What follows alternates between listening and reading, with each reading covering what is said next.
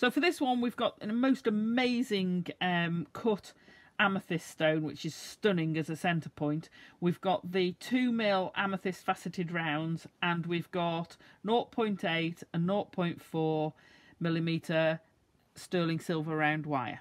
And we're going to make this pendant, um, which is, it looks complicated, but it's actually quite an easy weave. And then I've just added my own chain, um, sterling silver chain, to for it to hang.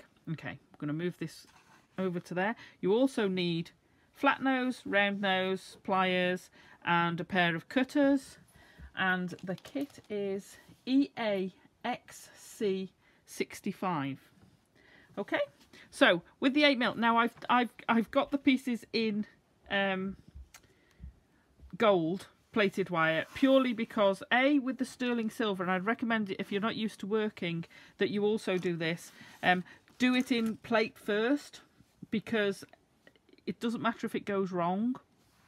Um, you, you're just losing wire. It's a practice piece. It will also it will also um, it'll also mean that um, you can see it slightly better on the white background. So we've got three pieces of our 0.8 We've got one 18 centimetre, one 20 centimetre and one 22 centimetre long. You can do them all 22 centimetre and trim, it's entirely up to you. It's just because you want the longest one on the outside, then the smaller one and then the smallest one on the inside. Don't don't worry too much if in doubt, just do them all 22 centimetres. Let me get those set. There we go. So we're going to have this sort of three stage at the bottom. We're going to start off with just the two. So the two longer ones. And we're going to wrap round the middle one at the at the base. Don't do this too tight the V. Want a V in all of them. Uh, cut them in half. Not cut them don't cut them bend them in half you don't want it too tight because you've got to fit two lots of 0.4 in there so you want five wraps we're doing a five and two weave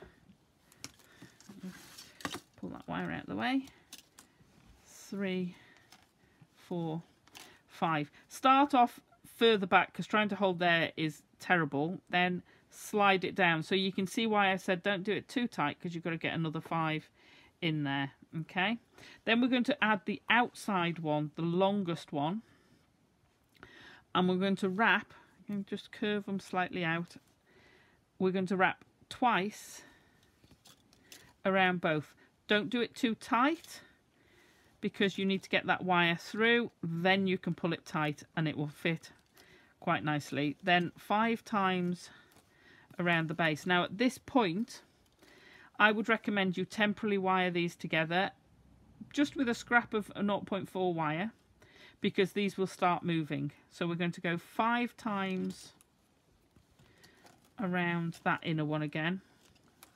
Four five. And then we're going to introduce the next one on the inside. So this is going to come down to the tip. So again introduce your piece of wire just to hold those in place so you're going to do twice round the two inside ones. We're not going to wrap around that outer one at all anymore. So I'm just going to see how difficult it is without that wire stabilizing them. Twice around there and then carry on with the central wire as your main one. So five times around that central wire, excuse me, three, four, five, and then twice round the two, the central and the inner one. So you want to carry that on and that will sit there and come in. So you're going to carry that on until you've got 15 sets of the 5 and 2 always end when you when you've done your 15 sets so you've done your five you've done your two always end with an extra five so I'm going to pop that over and pull out this one just trim that wire off so ignoring the bottom half this is what you will have so you've got your start with your wire wrapping round just the two then you've got your 15 sets there and then we're going 1, 2, 3, 4, 5, 6, 7, 8, 9, 10, 11, 12, 13, 14. It looked shorter for a minute. So now we're going to take the two ends and we're going to curve them round, just get a nice arc, but one tighter than the other. You can bend this one in. We're going to cross those two over, so just cross it out the way.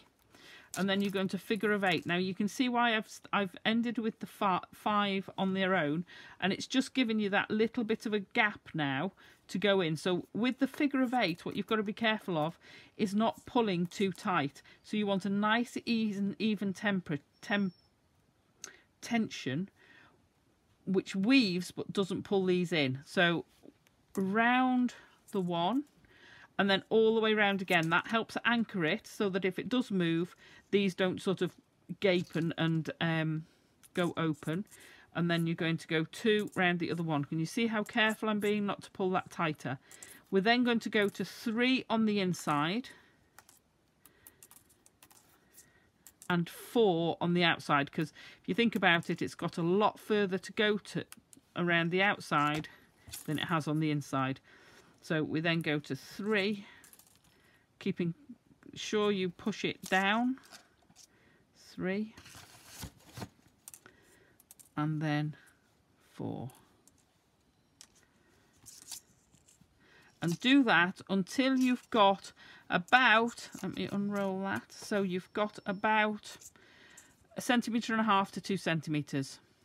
Okay, then what we're going to do is curl in your wire with your round nose pliers and carry on that curve so you're pulling this around. Now if you get a flat bit I would just gently ease that into a nice curve and bend it so that it's not flat. You can curve them when they're flat like that but you want it bended, bent so that that sits um, standing proud. Now the reason I want that there is because if you look you've got the depth of that stone to accommodate and if you don't if you have these flat then everything's resting on the point of that stone so it kind of gives that a triangular feel to give that stone if I find something to rest it on.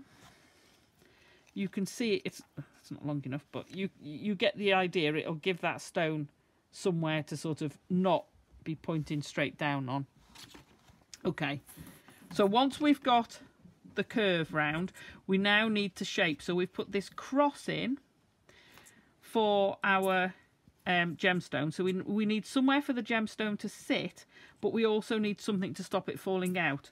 So popping a curve, so one, two, three, four in. The first four, you're curving outwards after you've got all three. So you've got that slight curve outwards for the first four. After that, we're going to curve in. So you get this sort of um, eye shape almost. Now have a play with it because what you need to do, and I'm just going to bend those out the way for now, what you need to be able to do is sit that gemstone in there so that it doesn't fall out. Okay, because there's nothing else but these two sets of, of wires that are holding this gemstone in place. Once you've got that, you've got your cross at the back. We want to put a curve in to hold that and we're going to pop another cross so we're going to cross them back over at the back. A bit better than that. There we go. And then we're going to drop that in.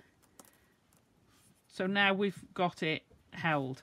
Make sure these are see how that's sort of bending up? I want it to bend that way out. So just sort of give it a little bit of a turn so that it's following the curve of that gemstone. Then we're going to curve these out as they were. Okay, I'm just going to pop that curve in there to make sure that that's out of the way. But of course you've woven that. Okay, so just doing your coil out of the way. So now we're nearly there. We're nearly there. So we've got our stones there, but of course this can open, and if that opens, your stone's going to fall out. So with these wires that we've crossed at the back, we're going to come up, and then we're going to cross over, and that's now pulled that together. That's now held that stone securely. Make sure they're nice and even at the back, because otherwise it won't hold it evenly, and if it turns, then it's going to, there we go, if it turns, it's going to um, cause it to push out. Let me put that in the right way. There we go. If it's too wide, then you can ease those tighter forward. Okay, so these we're going to cross over at the back and then we're going to fetch them in a nice curve down. So this is where these will tie in. So we're going to fetch it in a curve down to the bottom of that stone. Now you, you, you haven't got a lot of extra to play with. So and to get it there you want the smallest loop possible on the back of this so you can see how that's nice and secure not going anywhere make those even so round the back we just want the very tip to be bent up so you only want a few mil don't squash it closed yet because we're going to use that to, to attach it to there just about by there and then with this, we're going to feed on our amethyst. Let me pop our amethyst on. So I think I've used about 20 amethyst on it. Feed them on beforehand. Pop your wire in there and you're going to just do a few wraps. One,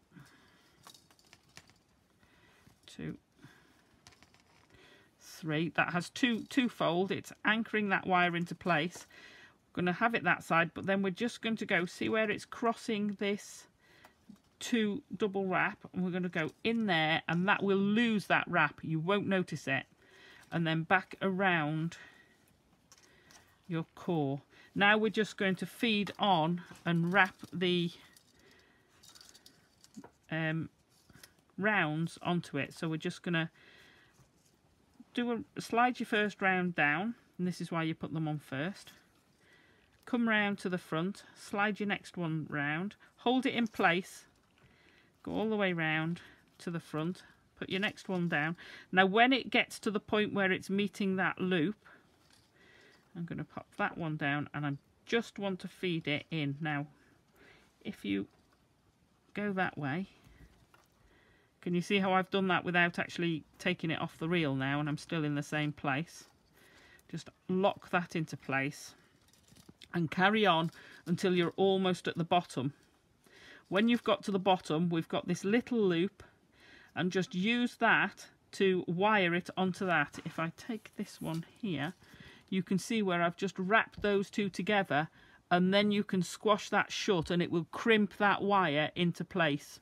And that is how you, all you've got to do. Jump ring across that cross at the top to allow you to put that chain on. And there's your pendant.